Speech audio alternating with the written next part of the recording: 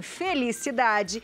Você já parou para pensar que às vezes o jeito extrovertido, alegre, brincalhão de uma pessoa incomoda? Incomoda muita gente. Tem gente que fala assim, menos, vai, menos. Já ouviu isso? No âmbito acadêmico, um estudo publicado no Jornal da Sociedade Americana de Geriatria em 2022 diz que as pessoas otimistas vivem mais e tendem a ser mais saudáveis. Além disso, a neurociência mostra que o simples ato da gente sorrir faz o cérebro criar os chamados hormônios da felicidade. Se os estudos já apontam que a gente pode ter mais qualidade de vida e se a felicidade tem a ser um, obje um objetivo de todos nós, independente das nossas diferenças, por que, que a gente estranha e julga aqueles que estão felizes? Eu aposto que você fala assim, ai, fulano, não sei, muito mal-humorado. Então, mas se ele está feliz, você gosta? Presta atenção nisso aí. Para responder essa questão, a gente conversa com a humorista Mariana com Y. Muito feliz. Mariana. Não é? Boa tarde, Mari. Bem. Ah, eu também, vocês. Bem-vinda novamente. Ótimo. Viu? Felizes? Felizes demais. Sempre, sempre, sempre. Sempre, sempre. Ai, que bom. Eu li ali que você não precisa nem estar tá feliz demais para sorrir. Só de É. você sorrir, você já começa, olha, tô melhorzinho, não é? É isso aí. A gente ajuda o cérebro. Mostrando essa musculatura do sorriso, o cérebro fala: Ei, não tava bem, agora tá? Deixa eu O te que que tá ajudar aqui. acontecendo aí? É por aí. Que que é isso? Que que é isso? E essa coisa do feliz é engraçado, porque eu tenho essas gargalhadas, enfim, né? E às vezes eu falo, nossa, será que eu posso, né? Porque quando eu vejo já foi, é natural. Você fala, ih, já gargalhei, já foi, né? Mas tem essa coisa de incomodar, porque parece que a gente incomoda. É lógico que a gente tem noção de limite, a gente sabe onde a gente tá, enfim. Eu não tenho muito hábito. Mas quando a gente tá feliz, a gente não consegue, porque é, natural. Sim. Existe isso mesmo? Menos. Olha, belisca, mãe belisca a gente, o filho. ah, Tem isso, Mari? Sabe a bola? Pega e baixa. É, exatamente. Sabe, tem muito. E eu brinco que o adulto, a gente já naturalizou o estresse. Então é muito mais natural você ver um adulto com aquela cara fechada, você fala, é um adulto. É. do que um adulto sorrindo. Por que, que a felicidade incomoda? Porque tem muita gente infeliz. E o infeliz, ele acredita que a felicidade é uma utopia. Então, quando ele vê alguém rindo, nosso Léo feliz, mentira. Eu não sou feliz. Como que cabe felicidade na vida dele? Tem uma frase, um ditado que eu gosto muito que é: Olha, as pessoas querem ver você feliz, Léo, mas não mais do que elas. Verdade. Nossa, é incrível Já esse ditado. isso. Perfeito. É. Porque tem aquela competição. Aham. Porque hoje a gente Sim. tem na rede social, eu sou melhor, eu sou incrível. Uhum. Como assim? Então, a pessoa realmente, naturalmente feliz, quando ela vê outra pessoa feliz, o que acontece? Só soma aquela luz e aquele farol. Uhum. Agora, o infeliz, ele se incomoda. Ele fala, ah, tá rindo de quê? A Uhum. vida é dura, viu? A vida é ralação, Rabi. Cresce Então, pra você ver. É, você vai né? ver. Exatamente, é. Quando Verdade. chegar um boleto no seu nome, É, aí você você me conta ver. de novo. É. Porque também se você ficar feliz com o boleto, pelo amor já é um problema, já é outro problema. Tô feliz com o boleto, mas é o que você problema. pode fazer é rir da cara do boleto. É, rir da... Nossa, essa frase é muito boa, hein? Eu da cara. rio na cara do boleto. Sabe, gosta tanto, né? Se ela tá rindo na cara do boleto, vou mandar o meu pra Ah, ela. ela vai rir muito Ai. também. Rir. Falar, infelizmente, a gente não vai estar podendo te ajudar. Ó, deixa, de- deixa eu levar para um lado um pouco mais, mais educativo, assim, da- Bora. mais infantil. Eu, como a Abi falou, né, provavelmente é o mesmo problema, excesso de felicidade. Eu era uma criança com excesso de felicidade. Eu gostei Eu já disso. tomei advertência. Sim. Escrito excesso de felicidade. É impressionante. É sério? Eu não estou brincando, eu estou falando sério. E assim, agora eu estou falando sério. tá? Agora Agora, fala baixa sério o som, agora eu falando sério. E assim, o que que eu, depois que eu cresci, que eu fiquei mais velho, o que, que eu comecei a perceber? Que a escola, o ensino, não está acostumada para crianças felizes. Não tá. Criança que se comunica demais, criança que ri demais, criança que tem a gargalhada muito alta, Aham. que fala um pouco mais alto. Não estou falando de criança que, que maltrata um professor, excede. maltrata um amigo. Não é. é isso. Crianças com excesso de felicidade. Estou errado em pensar assim, que o ensino não está não, não tá preparado para isso. Está preparado para aquela criança quietinha, que senta ali na frente da É fácil, sala. né? É, é fácil Dá lidar. trabalho. É isso que eu falo. É fácil lidar. Eu queria ver lidar com- comigo, porque assim, eu me comunicava demais. Eu não era uma, uma criança mal educada, eu me comunicava muito. E eu sofri demais na escola por isso. E a escola passou a ser um lugar que eu não gostava de ir. Lógico, Era te terrível. podavam. É, exatamente Mas isso. é porque na escola quem educa? Os infelizes. É. Porque já criou um adulto que ele já tem uma vida dura. E assim, minha mãe é professora, eu sei o quanto é complexo a vida um professor. Aham. Então, eu, Mário, eu trago muito essa consciência, inteligência emocional, para que a gente trate essas soluções dos adultos, para os adultos pararem de frear a felicidade das crianças.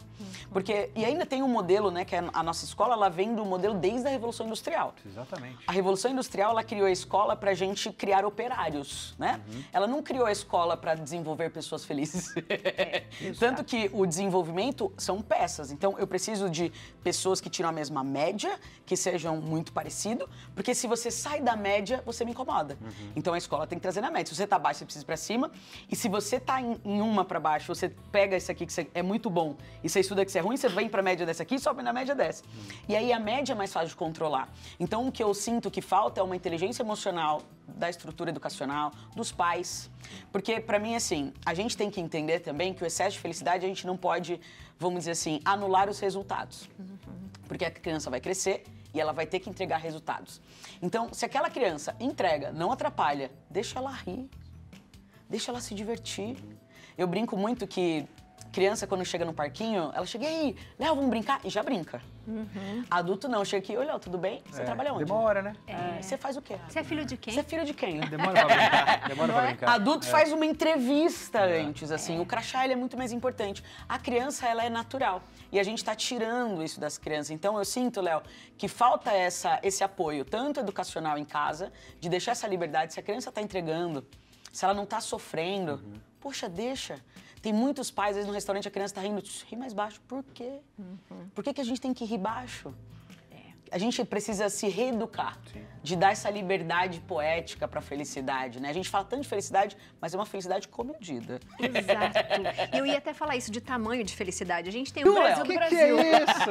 Ela Mas se divertiu com roupas de banana. Incomoda. É, muito legal. Mas ela incomodou muito. Porque Demais! ficou aquela coisa, ela é forçada, isso é uma falsa. personagem, né? E, e como é que a gente. A, a felicidade a gente controla, a gente assim, pode falar, isso é me- menos, por favor, ou isso é demais, você tem que ir um problema psicológico. Existe isso, né? Porque problema não sei. Psicológico é quando a gente sofre ou faz alguém sofrer. Sofre ou faz alguém sofrer, precisa ajudar auxílio médico. Ponto. Não sofre, não tá fazendo ninguém sofrer, só vai ser feliz. O que a gente tem é uma construção de identidades. Então, a gente colocou o adulto num lugar de adulto. Qualquer adulto com uma identidade real e sendo de verdade, ele é o prego que se destaca. O prego que se destaca é o primeiro que Leva martelada. toma martelada. Então eu acredito que a Beatriz ela é muito autêntica. E eu falo, eu sou mentora e eu falo para os meus mentorados, eu falo, gente, se preparem. Porque a partir do momento que você colocar sua autenticidade a jogo, você vai tomar tomotada. Porque a massa, a audiência, está esperando a média. Como assim você está fora da média? A gente não espera isso. Assusta. Isso é de mentira, porque é a máscara.